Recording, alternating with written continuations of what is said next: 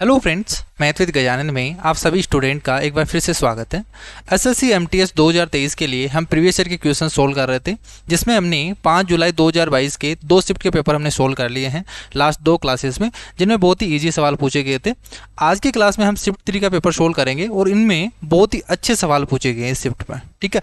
बढ़िया लेवल के क्वेश्चन पूछे गए हैं और इन क्वेश्चन को मैं बिल्कुल आपको डिटेल वे में समझाऊँगा, ताकि आपको अगर इन फ्यूचर कभी भी इस टाइप का क्वेश्चन मिल जाए तो आप इन क्वेश्चन को कम से कम टाइम में एग्ज़ाम में सोल्व कर सको बिल्कुल डिटेल में और एग्ज़ाम अप्रोच से कम से कम टाइम में कैसे सोल्व करेंगे, वो तरीका मैं आपको बताने वाला हूँ। क्लियर है? तो चलिए शुरू करते हैं। ज़्यादा टाइम में आपका वेस्ट नहीं करूँगा। पहला क्वेश्चन देखो, आपके पास दिया हुआ है कि एक आयत दे रखा है जिसकी लंबाई और चौड़ाई दे रखी है, आयत का क्षेत्रफल पूछा है। तो इसमें तो कुछ ही नहीं करना, गुना करना है तो कितना जाएगा? बेहतर क्लियर है? नेक्स्ट क्वेश्चन देखो रेशियो का दे रखा है। पी और क्यू का रेशियो दे रखा है। पी और आर का रेशियो दे रखा है। आपसे पूछा है, इसका रेशियो तो यहाँ से सबसे पहले पी क्यू आर का रेशियो निकाल लेते हैं अपन। पी और क्यू का रेशियो कितना है? चार अनुपात पाँच। पी और आर का रेशियो दे रखा है, वो दे रखा है दो अनुपात तीन। तो P और R का दो अनुपात तीन है तो सेम बना देते हैं। P यहाँ पे कितना है? चार है। तो इसे चार बनाने के लिए क्या कर देंगे अपन? दो से गुना कर देंगे दोनों तरफ़। तो P तो कितना हो गया? चार हो गया, यानी P तो चार होगा तो R कितना होगा? छः होगा। तो यहाँ से पी क्यू आर का रेशियो आ गया, चार अनुपात, पाँच अनुपात छः तो यहाँ से ये रेशियो पूछा है तो यहाँ पे पुट कर दो वैल्यू देखो पी की वैल्यू चार है तो बारह अनुपात, बीस अनुपात, तीस। क्लियर है? यहाँ पे चार, पाँच छः को मैंने पुट कर दिया। तो यहाँ से देखो डिवाइड कर दीजिए, कितना आ जाएगा? छः अनुपात, दस अनुपात, पंद्रह। ये ऑप्शन आ जाएगा। नेक्स्ट क्वेश्चन देखो। डीआई का सवाल है कि यदि एस सेवन में बेड्स की जो संख्या है वो कितनी है? थर्टी नाइन है। तो आपको बताना है कि total numbers of beds in all the seven hospital taken together तो अगर आपको देखो यहाँ पे दे रखा है एस सेवन में। एस सेवन में कितना है? एस सेवन में डिग्री आपको दे रखा है छब्बीस डिग्री यानी छब्बीस डिग्री की वैल्यू आपको दे रखी है उनचालीस। 26 डिग्री की वैल्यू उनचालीस दे रखी है और आपसे पूछा है टोटल कितने हैं तो देखो टोटल एक पॉइंट पे कितना एंगल बनता है? टोटल 360 डिग्री बनता है तो 360 डिग्री की वैल्यू आपको बतानी है। तो यहाँ से मुझे बताइए कि उनचालीस है, वो किसकी वैल्यू है? छब्बीस की, और आपसे पूछा है तीन सौ साठ डिग्री की। तो यहाँ से सोल्व कर दीजिए, तेरह दुना छब्बीस, तेरह तीन उनचालीस, दो से काटेंगे एक सौ अस्सी, कितना आ जाएगा? पाँच क्लियर है? नेक्स्ट क्वेश्चन देखो सिंप्लीफिकेशन पर पूछा गया है। सबसे पहले हम डिवाइड को सोल्व करते हैं तो ये तो एक बन गया। यहाँ से ज़ीरो पॉइंट छः हो गया प्लस का प्लस यहाँ पे देखो डिवाइड सोल्व करेंगे, ये कट गया। कितना आ गया? ज़ीरो पॉइंट पाँच। ऊपर तो ये आ गया। नीचे सोल्व करेंगे तो देखो, यहाँ से छः इंटू पाँच करेंगे तो ज़ीरो पॉइंट तीन आएगा। प्लस यहाँ से ज़ीरो पॉइंट तीन हो गया। तो यहाँ से सोल्व करेंगे तो कितना आ जाएगा? देखो छः पॉइंट ज़ीरो पॉइंट छः और ज़ीरो पॉइंट पाँच, एक पॉइंट एक हो जाएगा डिवाइडेड बाई ज़ीरो पॉइंट छः यानी कितना लिख सकते हैं इसके? ग्यारह बट्टे छः क्लियर है? नेक्स्ट क्वेश्चन देखो डीआई से पूछा गया सवाल है। यदि देश में प्रति वर्ष उस वस्तु के निर्यात का औसत मूल्य क्या है? किसका पूछा है आपसे? What is the average value of the export of that item for the given country per year आपको एवरेज पूछा है इनका। क्लियर है? तो देखो, सभी का एवरेज पूछा है। तो एवरेज निकालने का तरीका मैंने लास्ट क्लास में बताया था कि एक संख्या मान लो आप। जैसे यहाँ से देखो, छियालीस, अट्ठावन, चौंसठ, बहत्तर, छिहत्तर है। तो मैं मान लेता हूँ इसका एवरेज पचास है। ये मैंने मान लिया पचास। अब पचास से आपको डिफरेंस देखना है कि कितना कम है, कितना ज़्यादा है। ये पचास से कितना कम है? ये चार कम है। ये पचास से कितना ज़्यादा है? ये आठ ज़्यादा है। ये पचास से चौदह ज़्यादा है। ये पचास से बाईस ज़्यादा है। ये पचास से छब्बीस जाता है। तो यहाँ से देखो माइनस चार से तो कट गया, प्लस का चार बच गया। यहाँ से जोड़ लो, कितना जाएगा? बीस, चालीस, अड़तालीस अड़तालीस और चार, बावन बावन और चार, छप्पन और छियासठ छियासठ आ गया और ये कितने में बांटना है? तीन और दो पाँच में। टोटल आया ना आपके पास? पचास तो मैंने एवरेज मान लिया कि सबके पास पचास पचास पचास पचास है और बाकी एक्स्ट्रा कितना है यहाँ? छियासठ। तो उन छियासठ को इनके बीच में बांट दो। तो टोटल छः है ना? यहाँ पे पाँच है। तो पाँच में बांट दो। तो यहाँ से पाँच में बांटेंगे तो ये कितना आ जाएगा देखो। ये आ जाएगा तेरह पॉइंट तीन। तेरह पॉइंट तीन आ जाएगा। ठीक है? सॉरी तेरह पॉइंट दो। ये आएगा। तो यहाँ से कितना आ गया? तिरसठ पॉइंट दो। तो तिरसठ पॉइंट दो आपसे निर्यात किसमें दे रखा है? दस हज़ार में दे रखा है। तो कितना आ जाएगा? छः लाख। इसको दस हज़ार से गुना कर देंगे। दस हज़ार से गुना करेंगे तो कितना आ जाएगा? छः लाख बत्तीस हज़ार। अब देखो, यहाँ पे जो तरीका मैं लगा रहा हूँ ना तो यहाँ पे आप पचास की जगह साठ भी मान सकते हैं। कुछ भी मान लीजिए, आपकी जो मर्ज़ी है, वो मान सकते हैं यहाँ पे। बाकी ऐड करके भी कर सकते हैं। सबसे अच्छा तरीका यही है कि आप देखो, पहले कोई भी जिसके आसपास है ना, वो संख्या मान लो। जैसे मैं साठ मान के भी कर सकता हूँ इसको, कि ये कितना कम है, कितना ज़्यादा है। तो उस तरीके से भी आ जाएगा आंसर। क्लियर है? तो जो आपको ईजी लगे, वो मान, यहाँ पर मान सकते हो। टाइम एंड वर्क का क्वेश्चन देखो, बहुत ही अच्छा सवाल है। एस वन किसी कार्य को नौ दिन में करता है। एस टू है, वो अट्ठारह दिन में कर सकता है। एस थ्री है, वो सत्ताईस दिन में कर सकता है। और वे एक साथ कार्य करते हैं और कार्य को पूरा करते हैं, ठीक है? कार्य पूरा करने के लिए उसे कितने रुपए दिया जाता है? उन्हें सात सौ छब्बीस रुपये दिए जाते हैं। उपरोक्त राशि में आपको बताना है कि एस टू और एस थ्री को को एक साथ लिया गया, संयुक्त हिस्सा कितना है कि इनको total S one sorry S two और एस थ्री को कितने रुपए मिलेंगे?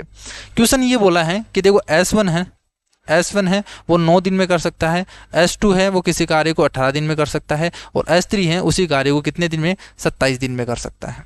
क्लियर है? ये इसके टाइम का रेशो आ गया। यहाँ पे मैं अगर रेशो निकालूँ तो कितना आ जाएगा? नौ अनुपात, अठारह अनुपात, सत्ताईस। क्लियर है? तो यहाँ से देखो रेशो निकालो तो एक अनुपात, दो अनुपात, तीन आगे इनका रेशो आपको पूछा क्या है? आपको देखो, एक अमाउंट दे रखा है सात सौ छब्बीस, जो इनके बीच में बांटना है। तो तीनों एक साथ काम कर रहे हैं। अगर अलग अलग करते, तब हमें एफिशिएंसी मान के सोल्व करना पड़ता, लेकिन यहाँ पे सभी एक साथ मिलकर काम कर रहे हैं। तो 726 को इनकी एफिशिएंसी के रेशियो में ही हमें डिवाइड करना है। तो जब भी आपको देखो टाइम दे रखा हो ना, जब आपके पास टाइम दे रखा हो तो अब टाइम का रेशियो दे रखा हो तो इसी का उल्टा क्या आ जाता है? एफिशिएंसी का रेशियो आ जाता है। क्यों आता है? क्योंकि एफिशिएंसी क्या होती है? एफिशिएंसी इनटू टाइम क्या होता है? टोटल वर्क होता है। यहाँ पे टोटल वर्क आपको कांस्टेंट है। ठीक है? कुछ भी मान सकते हो आप। तो टोटल वर्क अगर कांस्टेंट है तो टाइम का जो रेशियो होगा टाइम और इफ़ेक्टिव रेट क्या हो जाएगी? एक दूसरे के इनवर्स प्रोपोर्शनल हो जाएगा। ठीक है? ये तो कांस्टेंट है ना? तो टाइम का रेशियो क्या हो जाएगा? इनवर्स प्रोपोर्शनल हो जाएगा एफिशिएंसी के। या उल्टा बोल सकते हैं कि एफिशिएंसी है, वो टाइम के इन्वर्सली प्रोपोर्शनल होगी यानी टाइम का रेशियो अगर ये है तो इनके एफिशिएंसी का रेशियो है, वो उल्टा हो जाएगा। यानी एक बटे एक बोल दूँ, या एक बटे दो, एक बटे तीन। इस तरीके से हो जाएगा। तो यहाँ से इसी को सोल्व कर देंगे। देखो, यहाँ से इसका एल्शियम से गुना कर दो छः से गुना कर दो सभी को तो छः अनुपात तीन अनुपात दो। ये रेशियो आ जाएगा इनका। क्लियर है? तो ये रेशियो आ गया। इन रेशियो में डिवाइड करना है। ये एस वन का एस टू का एस थ्री का। तो टोटल के नीचे टोटल तो छः और तीन, नौ नौ और दो, ग्यारह। इंटू किसका पूछा है? एस टू और एस थ्री का पूछा है। एस टू और एस थ्री का सम कितना हो गया? पाँच। यहाँ से सोल्व कर दो, देखो। ग्यारह छिगाड़ी छियासठ और ग्यारह छिगाड़ी छियासठ। छियासठ इंटू पाँच करेंगे, कितना आ जाएगा? तीन सौ तीस। क्लियर है? तो सिंपली आपको क्या करना था? ये आपके पास टाइम का रेशियो निकाल लिया, इसका उल्टा किया और उसी रेशियो में आपने डिवाइड कर दिया इन मनी को। जो पूछा है, वो निकाल देंगे। नेक्स्ट क्वेश्चन देखो प्रॉफिट एंड लॉस से पूछा गया सवाल है कि एक वस्तु को 40 परसेंट हानि पर बेचा जाता है और हानि की राशि वस्तु के विक्रम मूल्य की लगभग कितने प्रतिशत होगी? An article is sold at a loss of चालीस परसेंट। दोनों लैंग्वेज में पढ़ रहा हूँ, क्योंकि कई स्टूडेंट हैं जिनको इंग्लिश में मतलब इंग्लिश मीडियम से रहते हैं तो उनको हिंदी समझ में नहीं आती, ठीक है? तो दोनों लैंग्वेज में आप पढ़ सकते हो। तो यहाँ से आपसे देखो क्वेश्चन में डायरेक्ट समझा देता हूँ क्या बोला है, कि वस्तु को चालीस परसेंट हानि पे बेचा जाता है। देखो, चालीस परसेंट का मतलब क्या होता है? दो बट्टे पाँच। क्लियर है? यानी अगर कोस्ट प्राइस कोस्ट प्राइस कितनी है? पाँच रुपये है। अगर कोस्ट प्राइस पाँच रुपये हैं तो उसको लॉस कितने का हुआ? लॉस हुआ उसको दो रुपये का। तो मुझे बताइए, वो बेचेगा कितने में? दो रुपये लॉस में बचा, बेचा है तो तीन रुपये में बेचेगा। इसने पूछा है कि हानि की राशि, यानी लॉस हुआ है, वो विक्रम मूल्य का कितना परसेंट है? ये लॉस है, ये विक्रम मूल्य, यानी सेलिंग प्राइस का कितना परसेंट है? तो दो बट्टे तीन है, दो बट्टे तीन का मतलब क्या होता है? छियासठ सही छियासठ सही छः छः छः इस तरीके से रहेगा? तो इसको हम क्या लिख सकते हैं? छियासठ पॉइंट छः सात। इंटू हंड्रेड कर देंगे ना यहाँ पे तो दो बट्टे तीन का फ्रैक्शन का मतलब कितना होता है? छियासठ पॉइंट छः छः एक व्यक्ति अपनी मासिक आय का ठीक है, जो उनकी मंथली इनकम है, उसका चालीस परसेंट क्या करता है, वो खर्च करता है। क्लियर है? तो यहाँ से हम क्या बोल सकते हैं कि अगर उसकी इनकम सौ रुपये है, अगर उसकी इनकम सौ रुपये है, यानी वो एक्सपेंड एक्सपेंडिचर उसका कितना रहेगा, चालीस परसेंट खर्च कर देता है स्पेंड करता है तो वो चालीस रुपये खर्च करता है, बचाता कितना है, साठ रुपये क्योंकि देखो, सौ रुपये उसकी इनकम है, चालीस रुपये उसने खर्च कर दिए और साठ रुपये उसने बचा दिया। ठीक है? अब ये बोल रहे हैं कि the monthly income of the person is increase by fifteen percent अगर फिफ्टीन परसेंट से इंक्रीज हो जाती है उसकी इनकम तो कितना हो जाएगा? एक सौ पंद्रह हो जाएगी कि उसकी इनकम और डिक्रीज एक्सपेंडिचर है वो डिक्रीज होता है बाईस परसेंट. और एक्सपेंडिचर है वो बाईस परसेंट डिक्रीज होता है. बाईस परसेंट, चालीस का बाईस परसेंट कितना हो जाएगा? आठ हो जाएगा. ठीक है? बाईस चौक अट्ठासी। सॉरी आठ पॉइंट आठ। तो आठ पॉइंट आठ क्या हो जाएगा? कम हो जाएगा एक्सपेंडिचर तो आठ पॉइंट आठ कम हो जाएगा तो चालीस पॉइंट चालीस में से आठ पॉइंट आठ कम कर दीजिए तो यहाँ पे कितना आ जाएगा?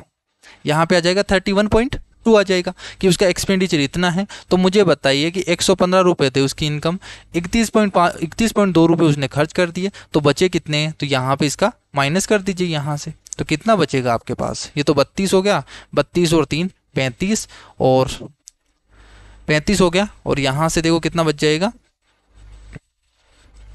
सोल्व कर लेते हैं अपन, देखो यहाँ से आठ और यहाँ पे चार बचेगा ना तो ये तीन हो गया और यहाँ से सात। सात ही बचेगा यहाँ से।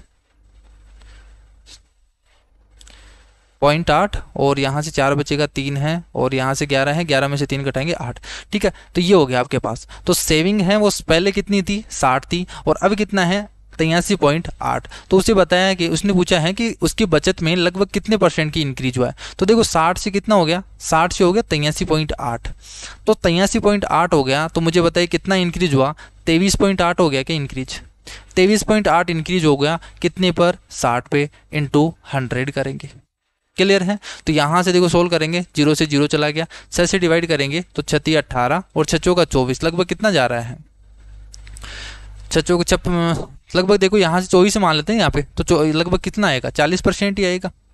लगभग कितना आएगा? चालीस परसेंट ही आएगा, क्योंकि तेईस पॉइंट आठ है ना तो लगभग कितना हो गया? चालीस परसेंट हो गया। आपको लगभग में पूछा है कि लगभग कितने परसेंट इंक्रीज हुआ है?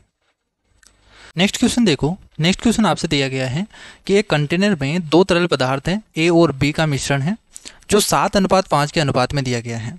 यदि 9 लीटर मिश्रण को 9 लीटर तरल पदार्थ बी से बदल दिया जाता है तो दोनों तरल पदार्थों का अनुपात है वो सात अनुपात नौ हो जाता है। तो आपको बताना है कि इनिशियली कि जो कंटेंट में ए लिक्विड ए था तो उसकी मात्रा कितनी थी? ठीक है ये आपसे पूछा है। तो देखो, बहुत ही अच्छा सवाल पूछा गया है और आने वाले एग्ज़ाम में भी इस टाइप का क्वेश्चन पूछा जा सकता है, क्योंकि देखिए, आने वाला जो एग्ज़ाम है वो एमटीएस का सबसे पहले एमटीएस का एग्ज़ाम होगा, फिर C H S L type two का एग्ज़ाम हो जाएगा और फिर सी जी एल का। तो तीनों एग्ज़ाम एक साथ आ रहे हैं तो इनमें किसी ना किसी शिफ्ट में अगर अच्छे लेवल का क्वेश्चन पूछा गया मिश्रण से तो इस टाइप का क्वेश्चन पूछा जा सकता है। तो देखो, इस टाइप के क्वेश्चन को करते कैसे हैं? आपसे बोला है कि ए और बी दो मिक्सचर हैं, ठीक है? दो लिक्विड हैं और इनका रेशियो आपको दे रखा है सात अनुपात पाँच। क्लियर है? अब इसमें से नौ लीटर नौ लीटर मिक्सर है, वो निकाला जाता है। नौ लीटर मिश्रण यहाँ से निकाल लिया जाता है और इसमें एड किया जाता है बी का मिश्रण। ठीक है लिक्विड बी को ऐड किया जाता है उतनी ही मात्रा में। तो ये रिप्लेसिंग का कंसेप्ट है। अगर आप इस क्वेश्चन को देखो बेसिक से करोगे तो यहाँ से कैसे करोगे? यहाँ पे आपको देखो सेवन एक्स फाइव एक्स मानोगे। यहाँ से नौ लीटर माइनस करना पड़ेगा। तो सात अनुपात पाँच में माइनस करोगे तो नौ डिवाइडेड बाई सात प्लस पाँच, बारह इंटू सात। इस तरीके से, और यहाँ से माइनस करना पड़ेगा तो सात, नौ बट्टे बारह इंटू पाँच। इस तरीके से माइनस करोगे और फिर नौ करोगे। और जो यहाँ से माइनस करने के बाद जो रेशियो बनेगा, वो बनेगा सात अनुपात नौ। तो यहाँ पे एक इक्वेशन बनेगी और इसे सोल्व करना पड़ेगा। तो अगर आप इस क्वेश्चन को बेसिक से करोगे तो यही क्वेश्चन आपका तीन से चार मिनट ले लेगा एग्ज़ाम में। तो इस टाइप से आपको क्वेश्चन नहीं करना एग्ज़ाम में, क्योंकि इस टाइप का क्वेश्चन है। अगर आप एक क्वेश्चन अटेम्प्ट करोगे तो इसकी जगह पाँच क्वेश्चन आप गवा बैठोगे। ठीक है? क्योंकि ये चार से पाँच मिनट ले लेगा और चार से पाँच मिनट में आप पाँच क्वेश्चन अदर क्वेश्चन कर सकते थे, जो कम टाइम में हो सकते थे।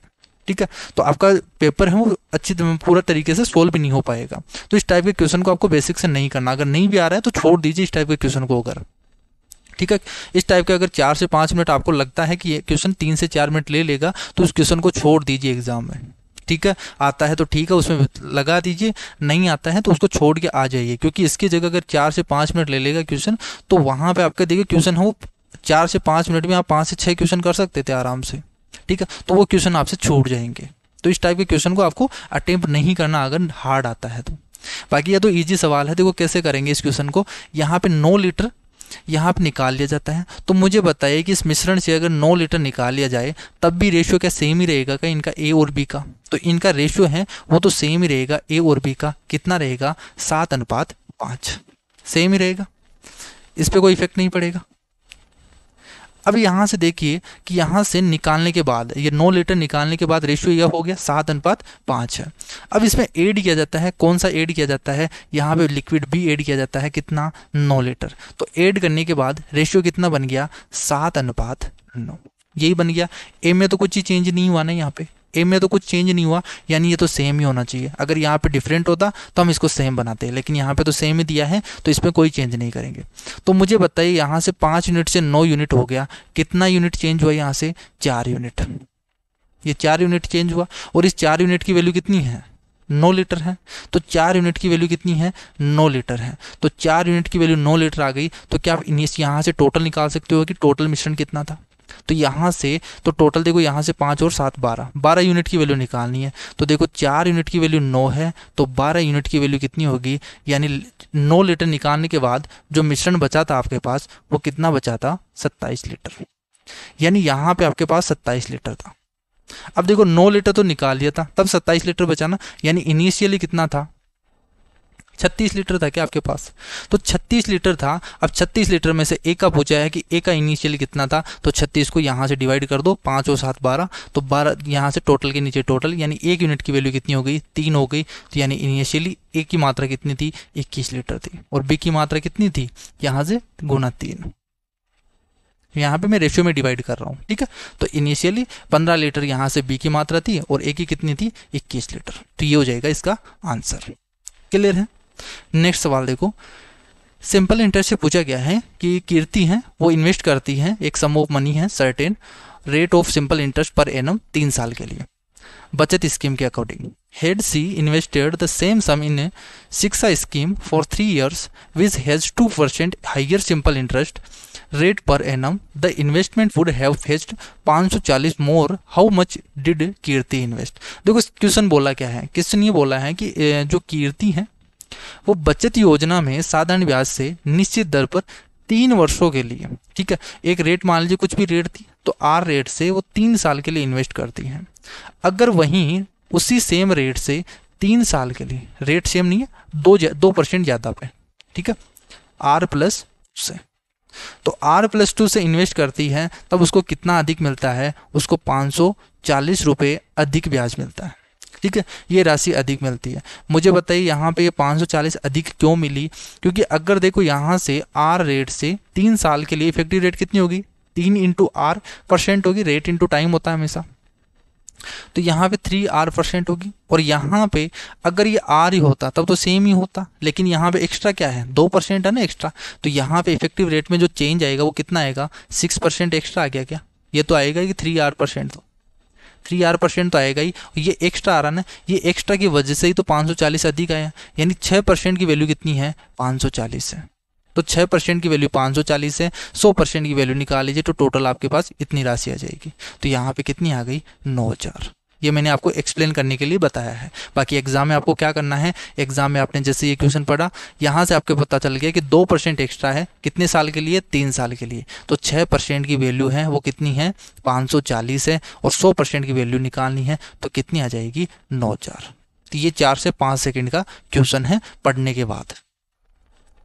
नेक्स्ट क्वेश्चन देखो, साधारण ब्याज पर एक राशि है, वो आठ वर्षों में स्वयं की दो गुनी हो जाती है। तो सिंपल इंटरेस्ट से हुई है। सिंपल इंटरेस्ट से एक रुपये जैसे मान लीजिए एक रुपये है, वो कितना हो जाता है? दो रुपये हो जाता है। कितने साल में? आठ साल में। तो मुझे बताइए, ये प्रिंसिपल है, ये अमाउंट है तो यहाँ पे ब्याज कितना मिला इसको? एक रुपये का मिला क्या ब्याज?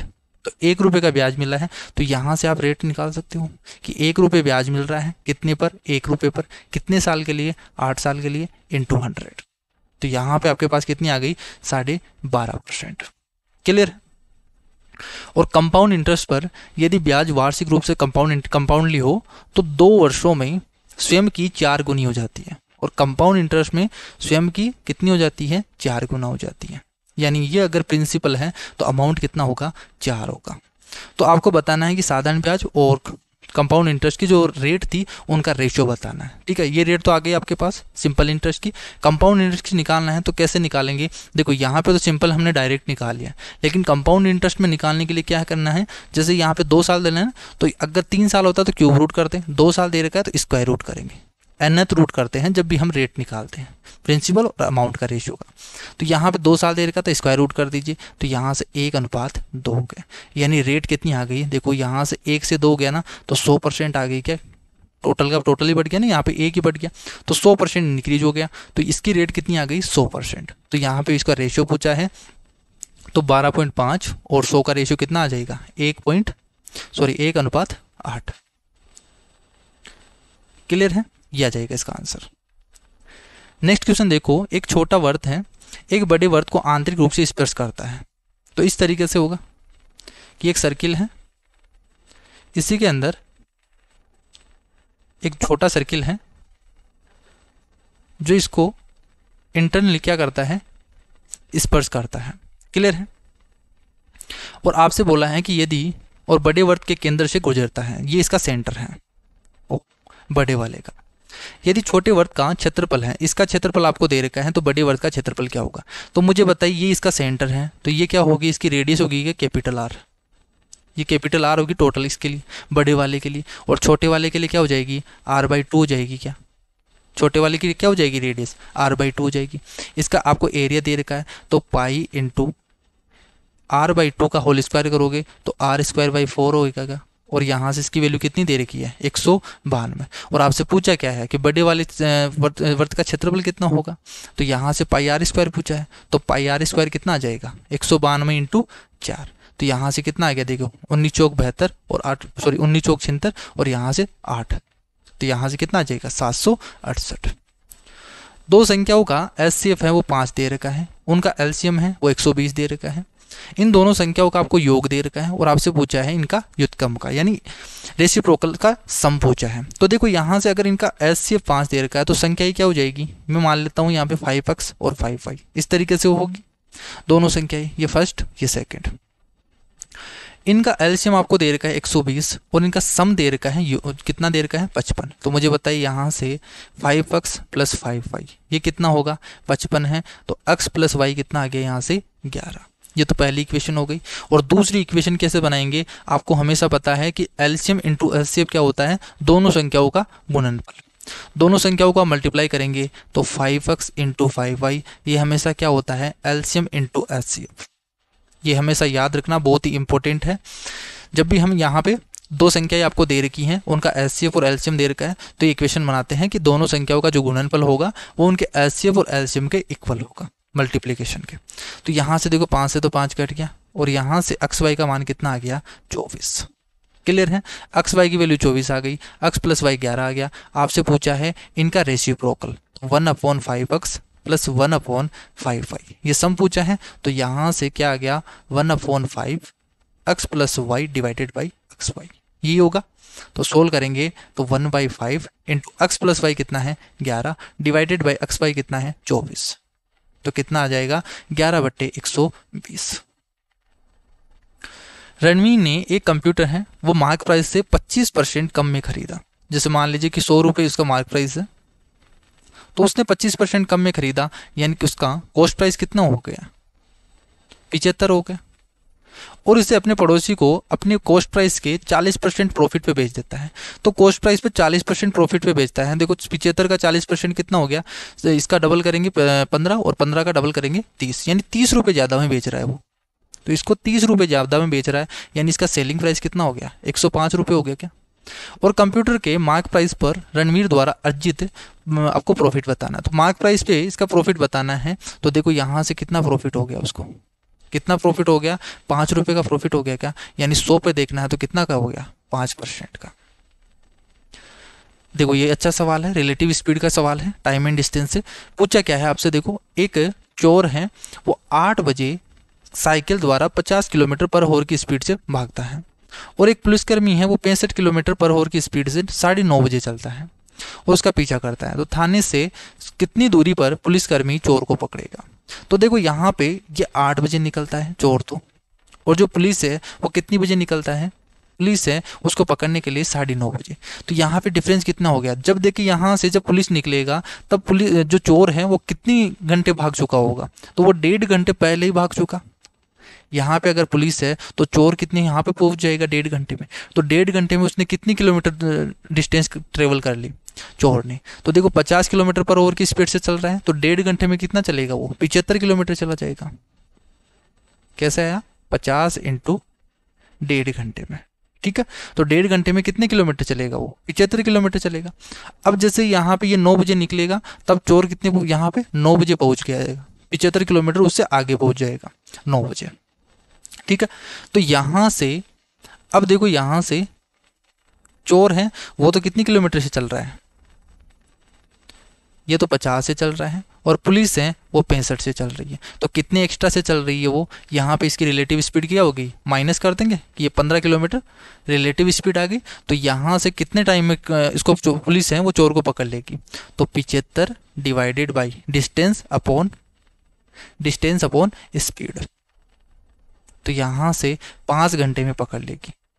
पुलिस है, चोर को पाँच घंटे में पकड़ लेगी। तो यह पाँच घंटे में पकड़ेगी तो पाँच घंटे में पुलिस कितना ट्रेवल करेगी?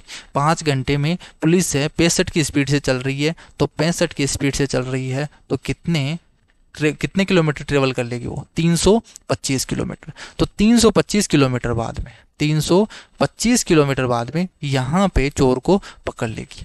ये आपको करना था इसमें। क्लियर है? नेक्स्ट क्वेश्चन देखो। ये बहुत ही अच्छा सवाल है टाइम एंड डिस्टेंस का। ए और बी हैं, वो एक ही समय पर। यहाँ पे टाइम देखो, बिल्कुल एक ही समय पर बोला है सेम टाइम पे निकलते हैं। बिंदु एम से एन की ओर चलना शुरू करते हैं। एम से एन दो पॉइंट है एम और एन बहुत ही अच्छे तरीके से आपको एक्सप्लेन करूँगा, देखो। यहाँ से पहला पॉइंट ये एम है और दूसरा पॉइंट एन है।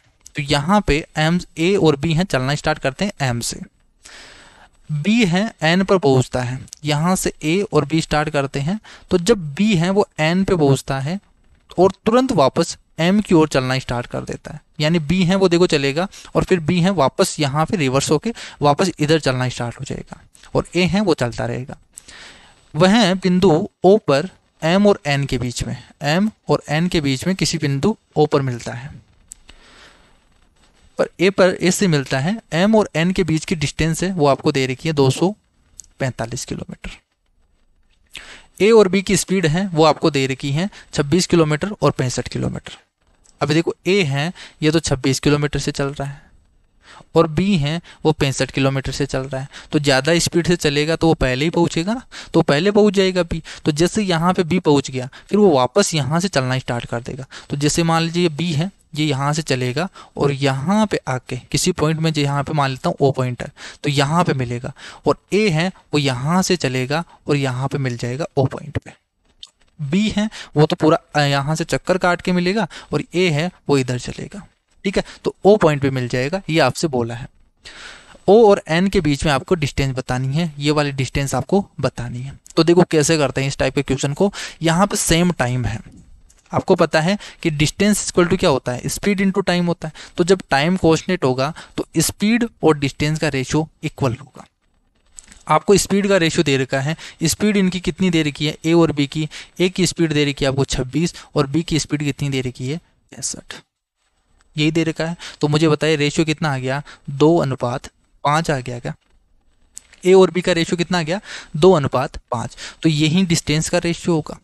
यही क्या होगा? डिस्टेंस का रेशियो होगा।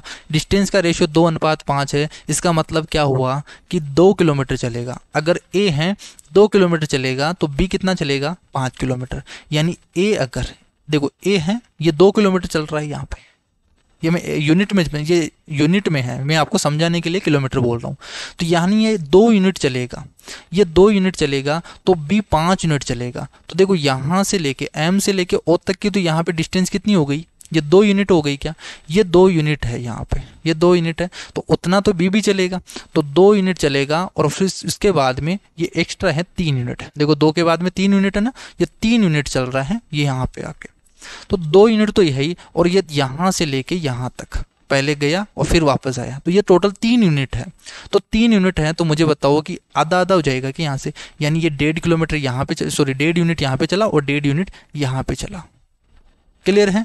ये दो यूनिट हो गई, ये डेढ़ यूनिट हो गई। तो देखो एम से लेके ओ तक और ओ से लेके एन तक। ये दो यूनिट चलेगा तो ये कितनी है? एक पॉइंट पाँच। इनका रेशियो कितना आ गया?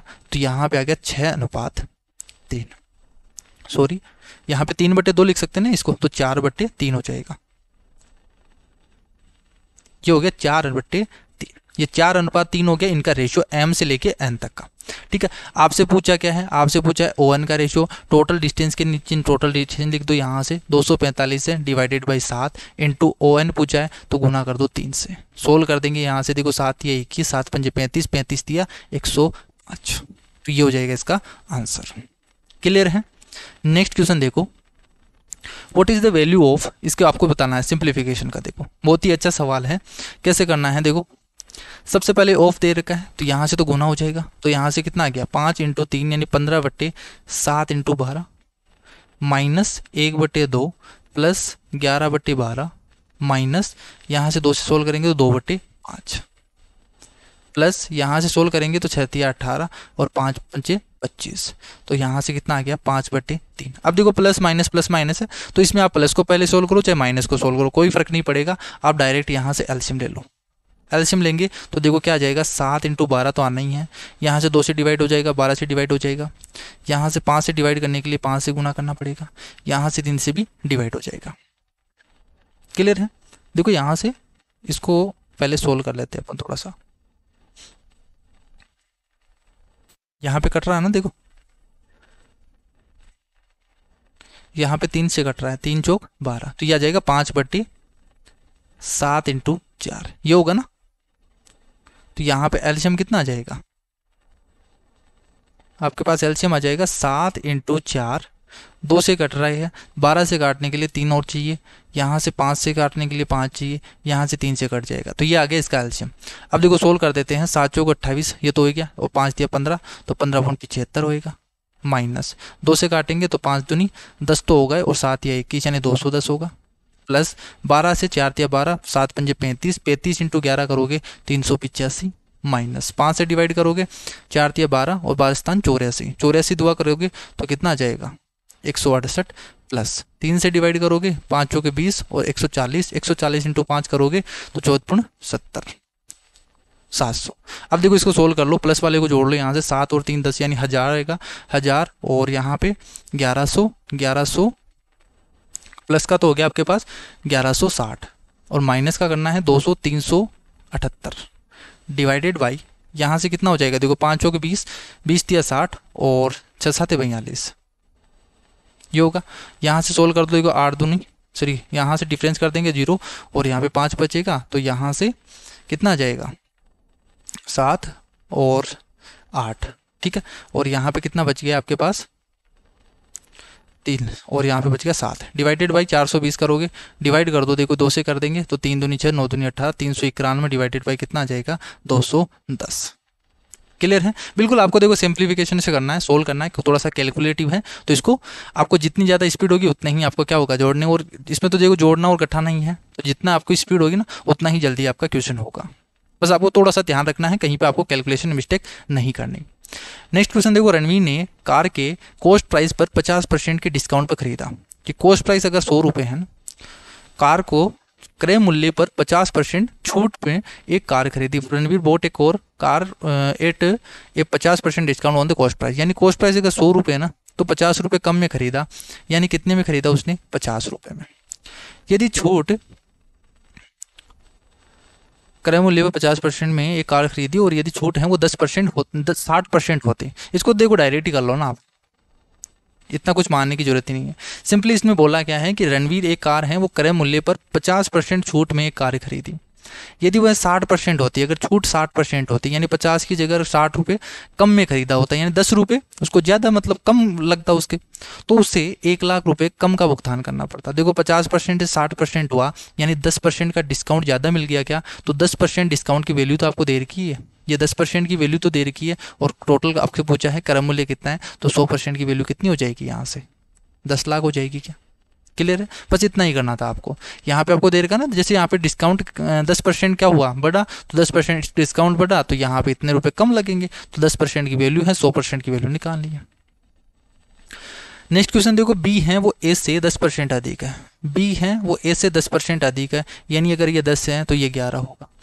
और बी है, जो सी है, वो ए से बीस परसेंट कम है। तो देखो सी है, वो ए से 20 परसेंट कम है तो 20 परसेंट कितना हो गया? दो कम है, यानी आठ होगा। पूछा क्या है कि बी है वो सी से कितने प्रतिशत अधिक है? तो बी है वो ए से कितने प्रतिशत अधिक है? तीन अधिक है, आठ पे तीन बटे आठ का फ्रैक्शन कितना होता है? साढ़े सैंतीस परसेंट। मैंने परसेंटेज में बोला है कि जितनी भी फ्रैक्शन है वो आपको याद रखनी है, ताकि आपका टाइम्स कम लगे। नहीं तो आपको देखो यहाँ पे गुना करना पड़ेगा सौ से और फिर सोल्व करना पड़ेगा। तो यहाँ पे पॉइंट में निकालना पड़ेगा। तो यहाँ पे आप सोल्व कर सकते हो। देखो, यहाँ पे याद रखना आपको वन बाई एट होता है, वो साढ़े बारह परसेंट का होता है। आज की वीडियो है, थोड़ी सी लंबी जा सकती है, क्योंकि मैं थोड़ा डिटेल से एक्सप्लेन कर रहा हूँ, ठीक है? थ्री बाई एट की वैल्यू कितनी हो जाएगी? साढ़े सैंतीस परसेंट और फाइव बाई एट है, वो साढ़े सत्तावन परसेंट और सेवन बाई एट है, वो होता है साढ़े सत्तासी परसेंट सॉरी यहाँ पे साढ़े बासठ परसेंट ठीक है? नेक्स्ट क्वेश्चन देखो एवरेज का क्वेश्चन बोला है कि छः आपको देखो कॉन्जिकेटिव ओड नंबर दे रखे हैं, इनका एवरेज आपको 26 दे रखा है। और इनमें पूछा पूछा आपसे कि सबसे छोटी और सबसे बड़ी संख्या है, उनका डिफरेंस आपको बताना है। तो देखो छः क्रमागत आपको दे रखी है विषम संख्या। मैं मान लेता हूँ सबसे छोटी संख्या अक्स है अगर, सबसे छोटी संख्या अक्स है तो मुझे बताइए कि नेक्स्ट संख्या क्या होगी? एक्स प्लस टू होगी। इसी तरीके से एक्स प्लस फोर होगी। और लास्ट वाली संख्या, जो छठवीं संख्या होगी, वो क्या हो जाएगी? यहाँ से दो, चार छः है तो यहाँ पे एक्स प्लस टेन होगी क्या? ठीक है? ये फ़र्स्ट हो गई, ये लास्ट हो गई। और इनका जो टोटल सम होगा, वो कितना होगा? छब्बीस इंटू टोटल छः संख्याएँ हैं तो छः इतना होगा, इनका सम करेंगे तो कितना आ जाएगा? देखो छः तो है तो छः एक्स प्लस दो, चार छः आठ इस तरीके से हैं तो दो, चार छः आठ इस तरीके से होंगे। कितने तक? दस तक? तो इनका सम कितना हो गया? दो तो कॉमन लेते हैं, एक से लेके पाँच तक हो गया। एक से लेके पाँच तक का सम कितना होता है? पाँच इंटू तीन। कैसे? N N plus one divided by two से करते हैं। यहाँ पे तो ठीक है, यहाँ से N N plus one divided by two करेंगे तो कितना आ जाएगा? पाँच या पंद्रह पंद्रह दूना तीस। यानी इनका सम कितना बन रहा है? तीस बन रहा है। ठीक है? बाकी आप जोड़ भी सकते हैं डायरेक्ट इतना फॉर्मूला ना लगाए तो। तो यहाँ भी इनका सम कितना हो गया? तीस हो गया और यहाँ से छब्बीस इंटू छः तो ये। छः से काट तो देखो छः और छः पंजे तीस। तो अक्स की वैल्यू कितनी आ गई यहाँ से? इक्कीस। अक्स की वैल्यू इक्कीस आ गई, यानी सबसे छोटी संख्या है, वो इक्कीस है और सबसे बड़ी संख्या कितनी है? इकतीस है। बाकी आप यहाँ से इतना सोल्व भी नहीं करते। अगर आप इतना सोल्व भी नहीं करते ना, यहाँ से देखो डायरेक्ट ही हो गया ना इतना। कुछ सोल ही नहीं करना आपको तो। यहाँ पे सबसे छोटी और सबसे बड़ी संख्या के बीच में डिफरेंस पूछा है तो आप यहाँ से क्या कर सकते हो?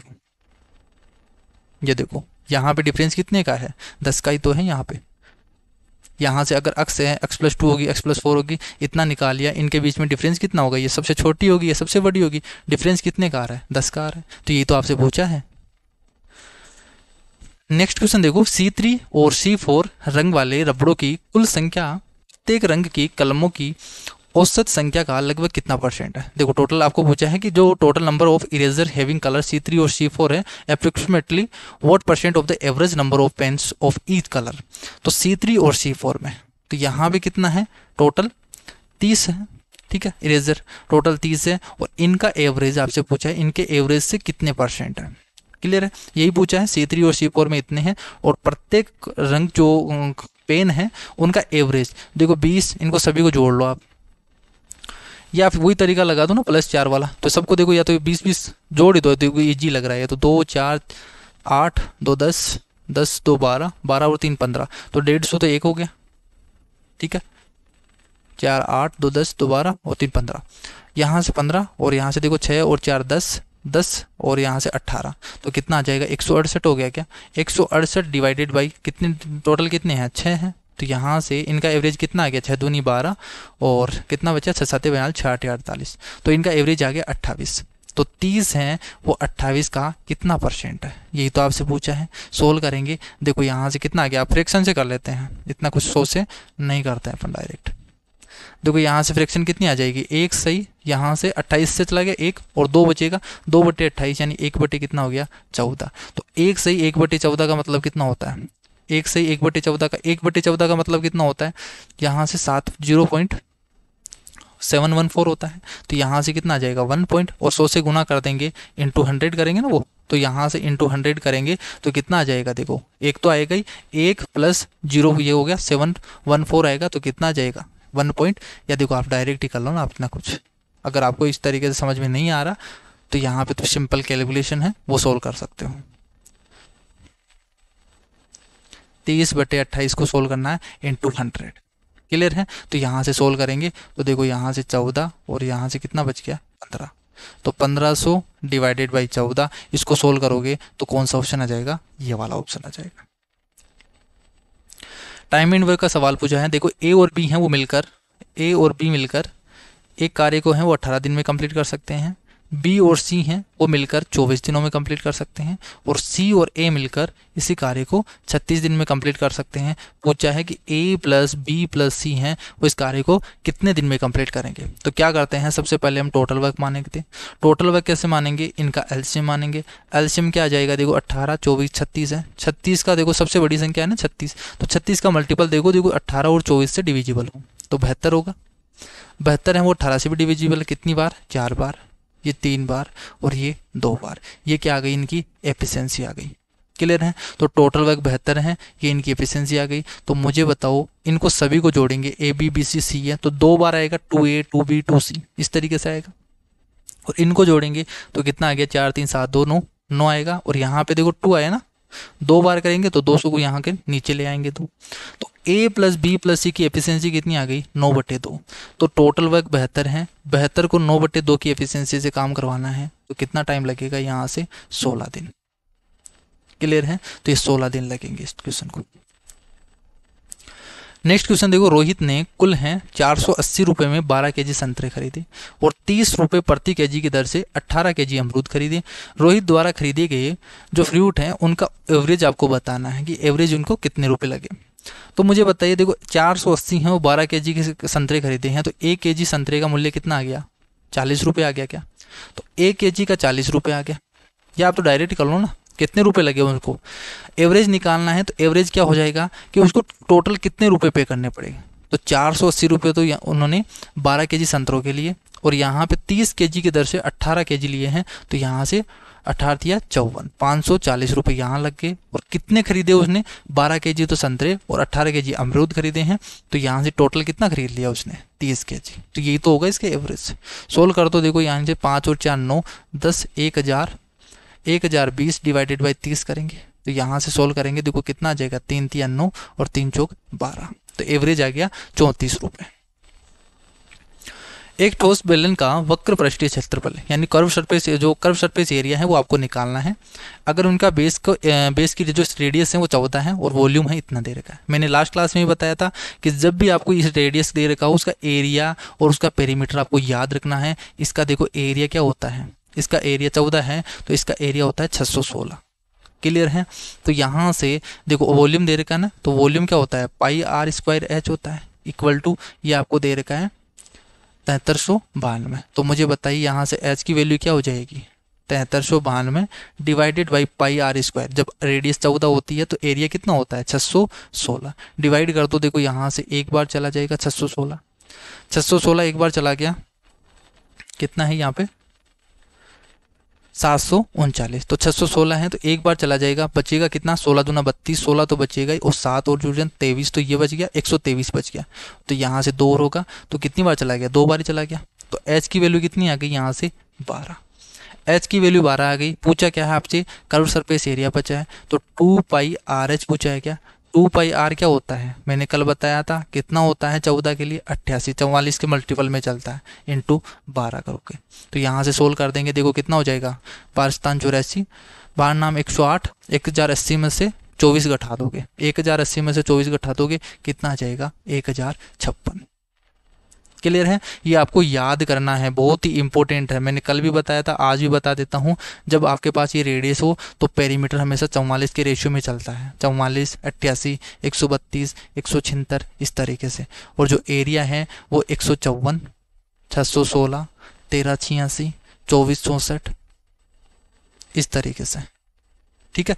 और यहाँ से पैंतीस का निकालना हो तो दो सौ बीस, और यहाँ से अड़तीस सौ पचास और यहाँ से अगर बयालीस का निकालना हो तो दो सौ चौंसठ और यहाँ से हो जाएगा पचपन चौवालीस। क्लियर? ये आपको टेबल याद करनी है, ये रटना है। ठीक है? बहुत इंपॉर्टेंट है, जब भी मेंसुरेशन का क्वेश्चन और यहाँ पे अगर एरिया, सर्किल का क्वेश्चन आता है तो आप चुटकियों में कर सकते हो इन क्वेश्चंस को, अगर ये टेबल आपको याद है। वरना आप देखो यहाँ से बाईस बटे सात से काटते रह जाओगे जब जितना काटोगे यहाँ पे भी काट के सोल्व करना पड़ता है यहाँ पे भी काट के सोल्व करना पड़ता है यहाँ पे मैंने यहाँ से दस से बीस सेकंड बचा ली इसको काटने के ठीक है? अगर मुझे याद है तो ये बीस सेकंड बच जाएँगे, अगर आपको याद नहीं है तो ये आपको बीस बीस सेकेंड है वो देना पड़ेगा एग्ज़ाम में। और इसी से आपका टाइम है, वो ज़्यादा होगा और आपका क्वेश्चन है वो अटेम्प ही नहीं हो पाएगा। लास्ट क्वेश्चन देखो इफ़ के स्क्वायर और M square sorry K square और एम और एम और सोलह है, वो प्रपोर्शनल है। तो जब प्रपोर्शनल होते हैं तो पास वाली संख्याओं का गुना और ये इक्वल होता है, जो बाहर वाली संख्याओं के मल्टीप्लीकेशन के। तो एम स्क्वायर होता है, वो इक्वल हो जाएगा यहाँ से सोलह के स्क्वायर के। तो मुझे बताइए, ये रेशियो कितना आ गया? सोलह अनुपात एक आ गया क्या? एम स्क्वायर और के स्क्वायर का। ये आपसे पूछा है कि एम स्क्वायर देखो यहाँ पे पुट कर दो। एम स्क्वायर की वैल्यू सोलह और के स्क्वायर की वैल्यू एक पुट कर दो। तो एक प्लस बत्तीस, ये हो गया तैंतीस तो तैंतीस अनुपात कितना हो जाएगा? सत्रह। कितना हो जाएगा? तैतीस अनुपात सत्रह। तो ये टोटल पच्चीस क्वेश्चन थे। आज के शिफ्ट है, बहुत ही अच्छे सवाल पूछे गए थे, ठीक है? तो इस टाइप से इन क्वेश्चन को करना है। मैंने आपको बहुत शॉर्ट तरीका बता दिया है, किस तरीके से क्वेश्चन को एग्ज़ाम में आपको सोल्व करना है। आई होप आपको ये क्लास है, अच्छी तरीके से समझ में आई होगी। और कमेंट करके ज़रूर बताना कि कैसी लगी आज की क्लास और नेक्स्ट क्लास में हम करेंगे इससे आगे की शिफ्ट ठीक है?